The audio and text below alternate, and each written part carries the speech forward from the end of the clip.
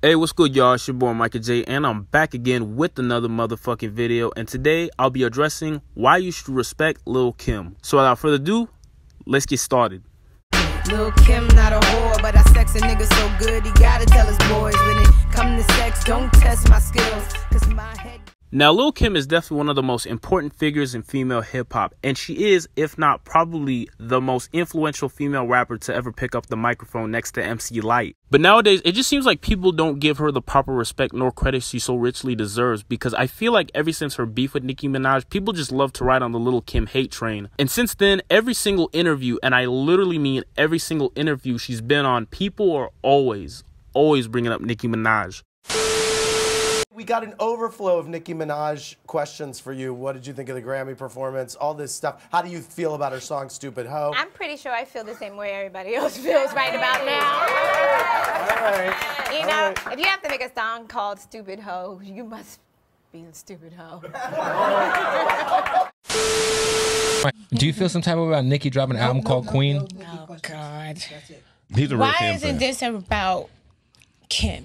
Oh, it's. N- I'm. Well, I'm just asking. Yeah, because see, you know what? the- If we're gonna mention one female, we need to mention them all. okay. We need to mention everybody. We need to bring everybody in. God bless her. What she did, she did. But you know what?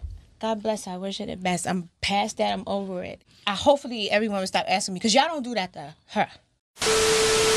And I gotta say, after all those years, I felt so remorseful for Kim because when people were trying to make it look like she was bitter, all she was trying to do was defend her legacy, while Nicki Minaj and Young Money were trying to tarnish it. And I know, I know, a lot of people always love pushing this false narrative about Little Kim supposedly going at Nicki Minaj first just because she was supposedly jealous and bitter. That's because y'all are too gullible and mind numbing to believe what the media tells you. Because what people did not know is that behind the scenes, while Nicki Minaj was supposedly paying homage to Kim, she started attacking her on multiple songs. I'll just let you see for yourself. Have town, check the roster, girl. I'm coming for the crown, Kim, that's the word. I'm coming for these rap bitches if they ready or not. You know the girl I already was hot. You feeling fuck a new bitch, I want a veteran spot. Now, I know I've said this a million times, but I'll say this again. Any of y'all who doubted Little Kim or did not believe her at all, then y'all better apologize to her because she proved to be right about Nicki Minaj all along. But y'all never listened. So with that is the main reason why I decided to make this whole video. I mean, seriously, the amount of disrespect that people give her nowadays in this generation is so overwhelming. They always like bashing her by saying some shit like, oh, Kim is just washed up. She doesn't even write any of her songs. Her career died after Biggie's death. Hmm, so you're really telling me that right after Biggie's death, her career went downhill after she had two of her albums, The Notorious Kim and La Bella Mafia, going platinum, and also making dozens of hit songs for years to come. From Ladies Night, which featured her and a bunch of other female rappers from Da Brat, Missy Elliott, Angie Martinez, and the late great Left Eye. And the song happened to be a top 10 hit when it peaked at number 6 on the Billboard Hot 100 and going platinum. To her biggest hit single to date, Lady Marmalade, which featured other female artists from Pink, Mya, and Christina Aguilera, which was a number one hit, by the way, and stayed there for five consecutive weeks. It even earned her a Grammy off of it back in 2002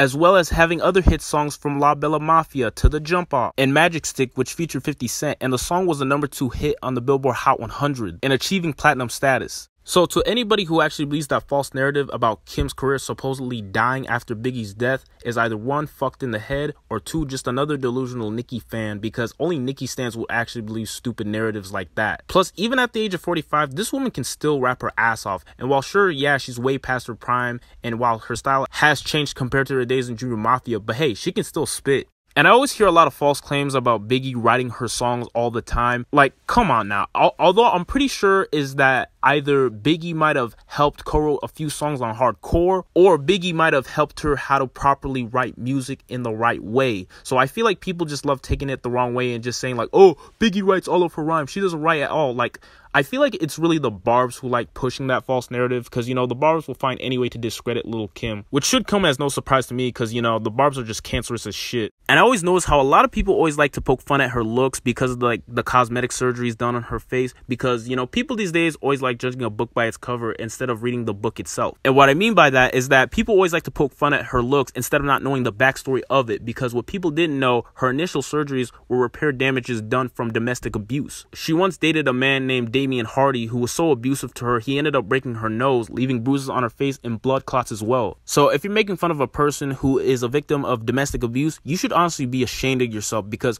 domestic abuse is something you should never laugh at at all. That is not funny at all because it's a very serious topic, especially in today's society. Because there's probably a lot of women who deal with that, and that's never good. And that's something you should never joke about. Even though, yeah, I feel like Kim kind of went too overboard with it, but still, domestic abuse is not funny at all. You see, way before there was Nicki Minaj, Cardi B, or even Beyonce, there was only one Queen Bee and one Queen Bee only, and that was Lil Kim. Ever since the release of her debut album Hardcore was released in 1996, which has been praised as a female hip hop Bible, she would change the landscape of female hip hop forever, along with fellow female rapper Foxy Brown. How you ask? Because if I'm being honest, Foxy and Kim were like two of hip hop's first femme fatales because of how they brought like a more sexual appeal to their music. But with Kim, her style was like more raunchy and hardcore, especially the way how she was so unapologetic with her explicit lyricism. Nobody do it better bet I wet ya like hurricanes and typhoons got buffoons eating my pussy while I watch cartoons sleep noon Better grab a seat, grab on your dick as deep. Deeper than pussy of a bitch six feet. Stiff dicks feel sweet in this little petite. Plus, the way how Kim combined hip hop, sexiness, and fashion all into one was something that had never been done or even seen before. And from there, she forever influenced and changed the entire culture, which led to people dubbing her as the Madonna of rap. Even female celebrities from Beyonce, Rihanna, and Kim Kardashian have all paid tribute to Kim as they followed her trend. Pretty much my whole point of this video, y'all motherfuckers may not love Kim and you might as well not even like her. But all I just ask for you is just to put some respect on her name because whether if you love her or you hate it, Lil Kim was definitely a huge game changer for female rap. And she definitely, undoubtedly, paved the way for most of these current female MCs you see today. From Nicki, Cardi, Megan, Stefflon Don, and so many more. Because without Lil Kim, most of them probably wouldn't even exist today. And if it wasn't for her, female hip hop wouldn't be what it is today as well. But bottom line, respect Lil Kim. And I think that pretty much wraps up this whole video. So anyways, what are you guys' thoughts? Do you think Lil Kim gets the proper respect and credit she deserves? If not, let me know in the comments down below. Be sure to give this a big thumbs up or thumbs down if you like it. Be sure to subscribe to my channel for weekly videos. I'm your boy Mycah J, and peace.